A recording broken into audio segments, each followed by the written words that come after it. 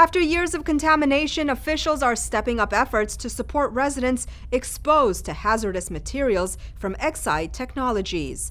Rasha Goel has more as officials reach out to the community, one family at a time. All the children that live here cannot play in their yards because it's so toxic. Teresa Marquez is among the Boyle Heights residents who has experienced the negative effects of Exide Technologies, a former battery recycling facility in the city of Vernon. And one of my grandsons has Asperger's, okay? And that is from contamination. A lot of children here have the same problem, unable to focus anger problems, and it's all due to the lead in your blood. The Exide facility operated for decades and closed down in March of 2015. Known as the lead acid battery smelter, it processed about 25,000 batteries a day. The plant was cited numerous times for emitting lead into the local environment and for violating hazardous waste laws.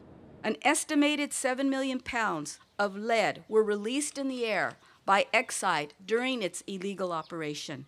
The exposure to dangerously high levels of lead and other contaminants can be detrimental to the brain, to kidneys, to liver, and other vital organs. Action is now being taken as the LA County Health Agency with community members hold an outreach effort where 1,400 volunteers will go door to door to over 20,000 homes within 1.7 miles of Exide Technologies.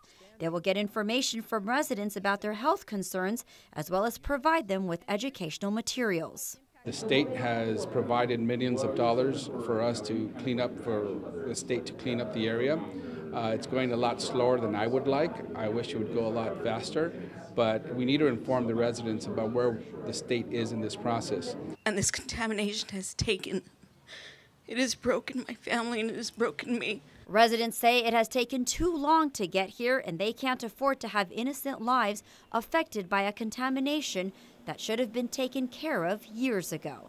In Boyle Heights, I'm Rasha Goel for LA This Week. More than 100,000 people live, work, and play near and around the former Exide plant.